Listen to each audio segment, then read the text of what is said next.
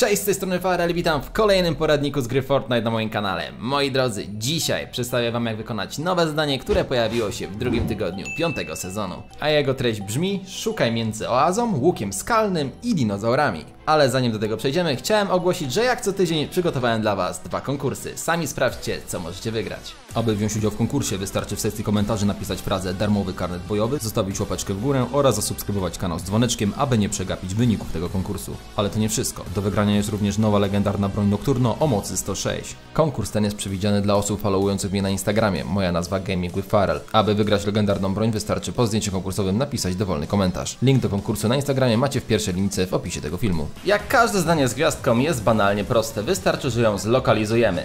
Jedyna miejscówka, w której możemy znaleźć dinozaury, łuk skalny oraz oazę, znajduje się koło oazy odpoczynku, dokładnie w tym miejscu. Mamy oazę, tutaj znajdują się dinozaury, a tutaj łuk skalny, czyli gwiazdka będzie ukryta tutaj.